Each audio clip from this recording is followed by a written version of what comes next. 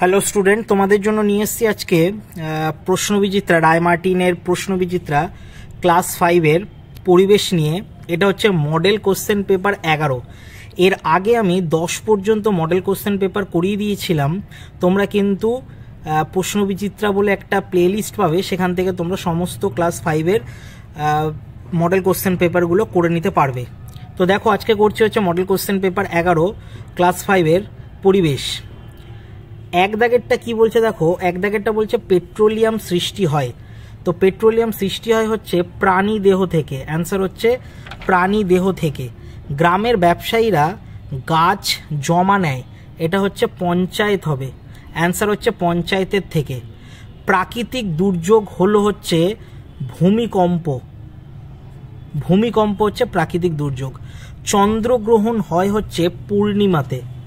পূর্ণিমাতে হচ্ছে চন্দ্রগ্রহণ হয়। মাটি ও জলের খুব ক্ষতি করে গাড়ির তেল এবং মোবিল, তেল এবং মোবিল। নিজের মতটাও বলবে আর বাড়ির লোকের কথাও শুনবে। এটা কিন্তু এমসিকিউগুলো গেল। এরপরে দেখো, দুই দাগে আমরা চলে আসছি। দুই দাগেরটা বলছে, উদ্ভিদের বীজ অঙ্কুরিত হয়। অ্যান্সার হচ্ছে তাপের প্রভাবে। অ্যান্সার হচ্ছে তাপ। দু নম্বর হচ্ছে পৃথিবী থেকে পৃথিবী থেকে সূর্যের দূরত্ব হচ্ছে পনেরো কোটি কিলোমিটার, পনেরো কোটি কিলোমিটার। টু পয়েন্ট থ্রিটা বলছে মাটির ড্যাশ মিটার গভীরেও কয়লা আছে। অ্যান্সার হচ্ছে ছশো ছশো মিটার। টু পয়েন্ট ফোর বলছে মারধর আর মানসিক পীড়ন থেকে শিশুদের সুরক্ষা দেওয়া উচিত। এখানে অ্যান্সার হবে সুরক্ষা। টু পয়েন্ট ফাইভ হচ্ছে পালে আটকে যাওয়া। ড্যাশ নৌকাকে টেনে নিয়ে যায়। অ্যান্সার হচ্ছে বাতাস। টু পয়েন্ট সিক্স হচ্ছে সবাই ড্যাশের যত্ন করলে কোনো সমস্যা হতো না। পরিবেশের যত্ন করলে কোনো সমস্যা হতো না। চলে আসছে হচ্ছে শুদ্ধ অশুদ্ধ। শুদ্ধ অশুদ্ধতে কি বলছে? বলছে সেন্ট পলস ক্যাথিড্রাল একবার বন্যায় নষ্ট হয়ে গিয়েছিল। এটা হচ্ছে মিথ্যা হবে। বলছে ঝড় বন্ধ করা যায় না। এটা একদম সত্য, ঝড় বন্ধ করা যায় না। আম কাঠ দিয়ে ভালো আসবাব তৈরি হয়। এটা একদমই ভুল। কয়লার ধোঁয়ায় সালফার ডাই অক্সাইড গ্যাস থাকে। এটা একদমই ভুল। তিন নম্বর পাঁচ নম্বর হচ্ছে পৃথিবীর সকল স্থানে একসঙ্গে চন্দ্রগ্রহণ দেখা যায়, এটাও ভুল। লাস্ট হচ্ছে কোনো কাজ খারাপ নয়, এটা ঠিক। এরপরে চলে আসব হচ্ছে চার দাগে। চার দাগে কি বলছে? চার দাগের এক নম্বরটা কি বলছে দেখো? আগ আগমার্ক থাকে এমন তিনটি জিনিসের নাম লিখতে বলেছে। অ্যান্সার হচ্ছে তেলের প্যাকেট, মশলার প্যাকেট আর ঘিয়ের সিসি ফোর পয়েন্ট টুতে কী বলছে? একটি ধূমকেতুর নাম লেখো। অ্যান্সার হচ্ছে হ্যালির ধূমকেতু, হ্যালি। ফোর পয়েন্ট থ্রি কী বলছে? পশ্চিমবঙ্গের কয়লা খনি অঞ্চলটির ক্ষেত্রফল কত? অ্যান্সার হচ্ছে দেড় হাজার বর্গ কিমি। ফোর পয়েন্ট ফোর বলছে বনে কোন কোন পতঙ্গ থাকে? প্রজাপতি থাকে, মৌমাছি থাকে। পুকুরের জলকে স্বচ্ছ করে তুলতে কি করতে হবে? অ্যান্সার হচ্ছে চুন অথবা পটাশিয়াম পারম্যাঙ্গানের জলের মধ্যে দিতে হবে বা পুকুরে দিতে হবে। ফোর পয়েন্ট সিক্স বলছে, ভারতে কবে পথ নিরাপত্তা সপ্তাহ পালিত হয়? অ্যান্সার হচ্ছে এগারোই জানুয়ারি থেকে সতেরোই জানুয়ারি।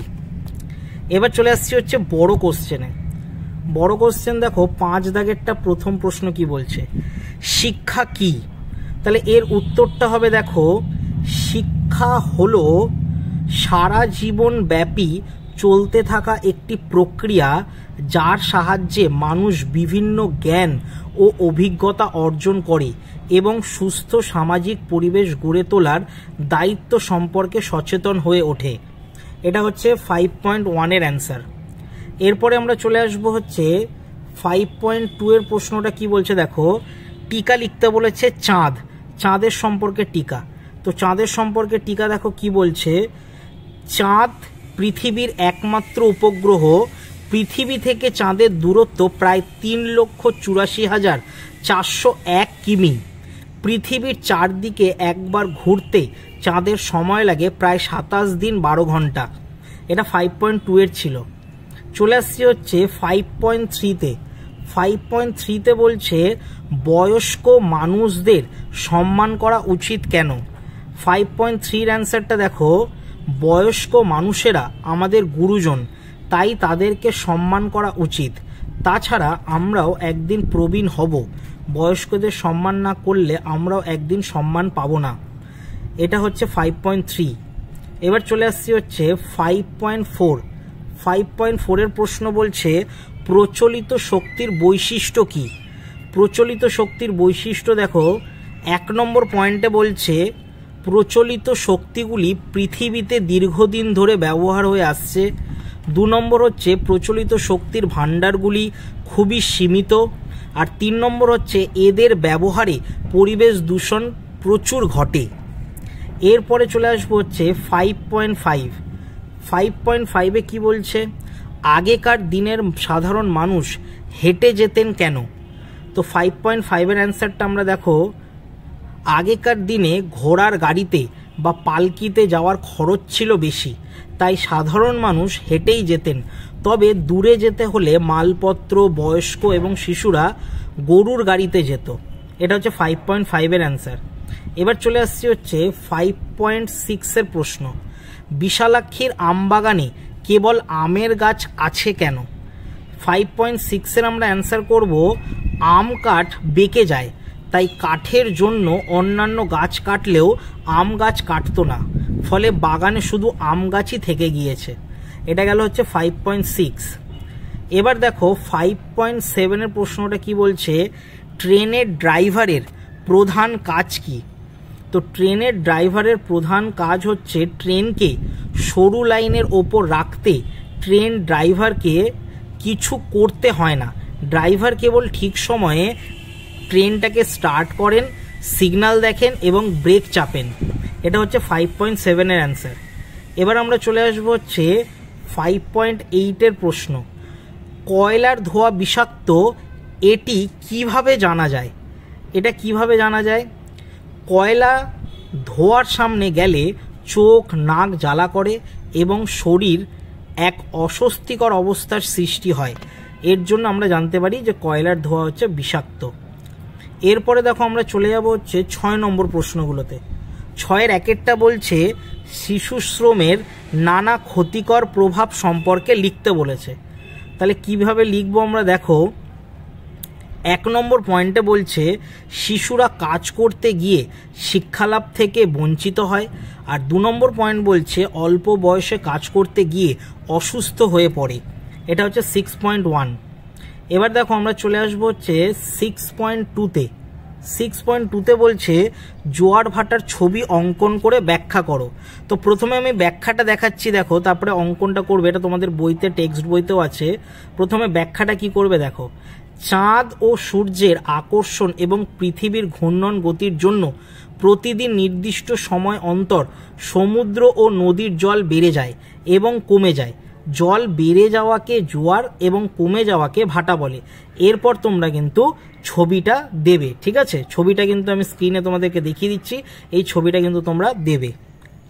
এবার চলে আসছি হচ্ছে সিক্স পয়েন্ট থ্রিতে সিক্স পয়েন্ট থ্রির প্রশ্নটা দেখো কি বলছে।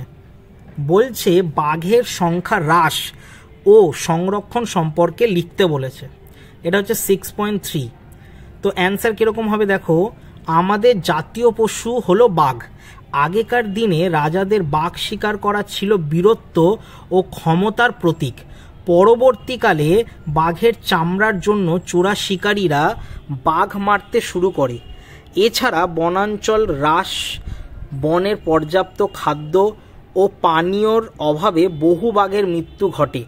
সংরক্ষণের, দেখো, উপায়গুলো কি? পরিবেশে বাস্তুতন্ত্রের গঠন বজায় রাখতে হলে সংরক্ষণ করতে হবে।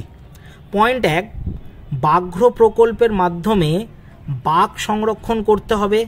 আর দু নম্বর হচ্ছে, চোরা শিকার বন্ধ করতে হবে। তাদের কঠোর শাস্তি দিতে হবে যারা চোরা শিকার করছে। এই দুটো পয়েন্ট তোমাদেরকে পড়তে হবে। এরপরে আমরা চলে আসব সিক্স পয়েন্ট থ্রির পরে সিক্স পয়েন্ট ফোরতে তো। দেখো সিক্স পয়েন্ট ফোরে কী বলছে? সিক্স পয়েন্ট ফোরে বলছে, সুনামির সময় কি কি সাবধানতা অবলম্বন করা প্রয়োজন? সিক্স পয়েন্ট ফোর তো বলছে আমরা কি করব? পয়েন্ট অনুযায়ী লিখব।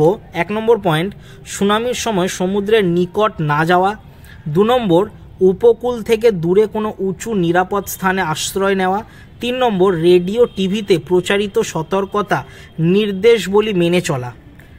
এটা গেল সিক্স পয়েন্ট ফোর এবার দেখো, আমরা চলে আসব হচ্ছে সিক্স পয়েন্ট ফাইভ মানে লাস্ট প্রশ্নতে, কয়লার ধোয়ার মতো গাড়ির ধোয়া বিষাক্ত কেন?